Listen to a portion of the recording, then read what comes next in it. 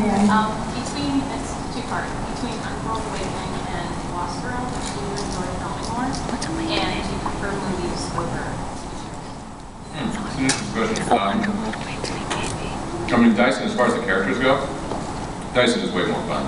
You know, I get to do way more things. uh, And it kind of go, answers your second question too.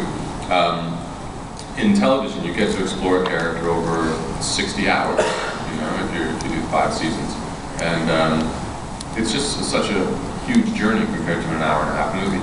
But say, saying that also, I love film because because of that compartmentalization of that story, you get into it, you have six weeks, two months, whatever, you're in, you're out, and you're very deep focus, and really, you know, it's balls to the wall.